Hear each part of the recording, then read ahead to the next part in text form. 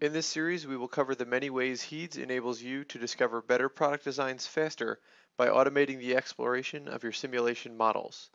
Today, I will be showing you how to use the ANSYS Workbench portal with HEEDS to quickly set up an optimization study and allow HEEDS to drive the design space exploration.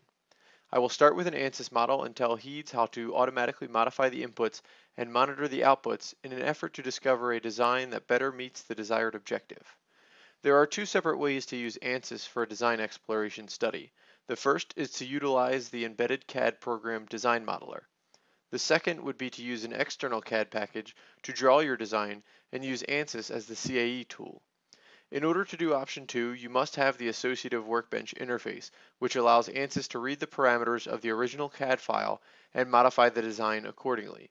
The process for manipulating the geometry once inside of ANSYS would be the same for the two ways described before. For more questions regarding the ANSYS Associative Workbench interface, please contact your ANSYS support representative or consult the Workbench Help Manual.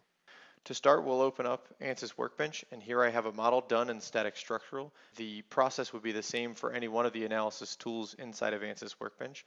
And we can see here that the model has been simulated and has a, a working solution. So now we need to go in and define the input variables and the output responses that HEEDS is going to use for its optimization routine. And so to start, we're going to double click on the geometry and open up the design modeler. And in here we can see the design that we currently have for this study, and it's just a simple torque arm. And the, here we have the, the different dimensions are defined here as well. And what we want to do is we want to have HEEDS modify the length and location of this slot as well as the radii that are involved in that. And so to do that, we're going to come over to the details view uh, where we have all of the different dimensions defined here. And we're going to choose the, the variables of importance. And so to start, we're going to modify the, the value that ANSYS calls H10, which is the first location of the slot. And so in order to get HEEDS to be able to modify it, we have to define this as, a, as what's called a parameter inside of ANSYS. And so to do that, you just check the box next to the name of, of the variable. And so checking that box allows you to change the parameter name. And so for this case, we're going to call it x1. And it's important to define your parameter names because when you get into HEEDS, you're going to have to know which of these variables is x1 and you may not remember what h10 happens to be. And so it's important to name it something that you're going to remember. And so for this case, we're going to name x1. And then the length of the slot here is defined in ANSYS as h7.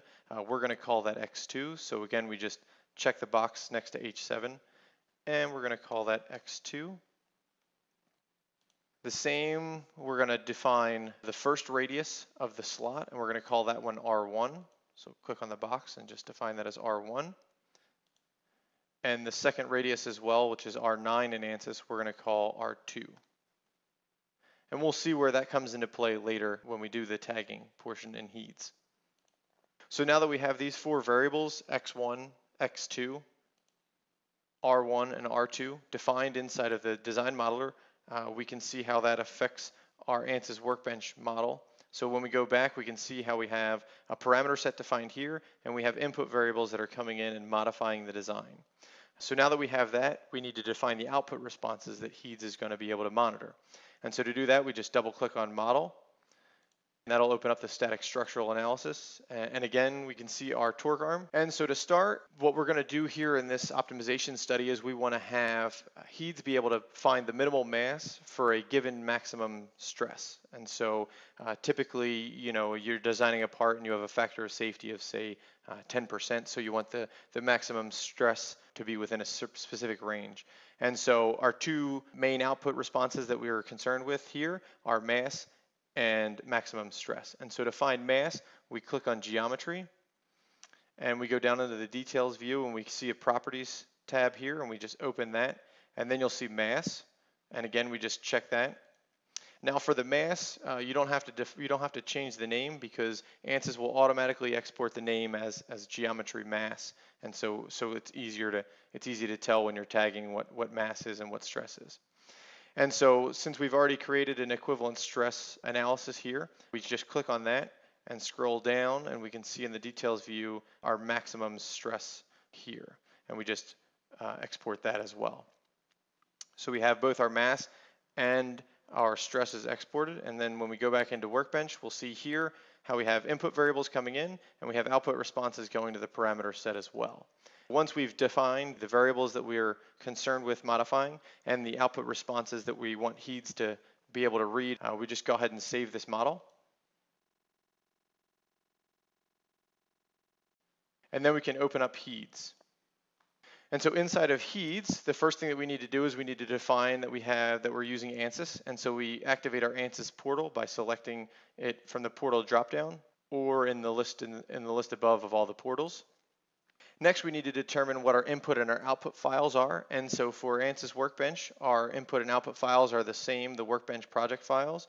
And so to do that, we would just right click and add input file and right click and add output file. And you can see here how I've already done that with uh, the workbench files that we have here. And so next we're going to define the parameters. And I have here already defined my x1, x2, r1 and r2 values here, as well as defining the minimum and maximum values that are allowed.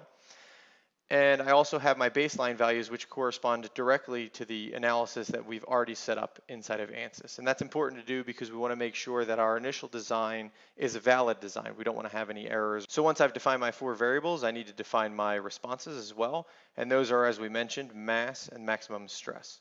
So I have those defined there. Now I have the HEEDS define the inputs and the output variables. I need HEEDS to know exactly where to look inside of ANSYS for those. And so to do that, we're going to go to the tagging tab. And so inside of the tagging tab, I have my input file selected. You can tell it's the input file by the green arrow. The blue arrow corresponds to the output files. And we can see here the different things inside of that parameter set that we have defined. And so we see the x1, x2, r1, and r2 values. And so I'm going to tag my x1 value here. So I've, I've determined that my x1 variable is the, is the variable of choice here. And so I click on the, the cell of importance and I just click tag. And since I have auto advance on, it goes to the next variable, which is x2, as well as the next cell, which also happens to be x2. So I can tag x2, same for r1 and r1, so I can tag those, and r2 and r2, so I can tag those as well. So now I have my input file tagged with all the variables of importance, and now I'm going to go to my output file. Clicking on parameter, we can see that mass is, is selected here, and we can see the surface body mass here. So we select that and tag, and then maximum stress and maximum stress here as well. And so that shows you the use of the ANSYS Workbench portal.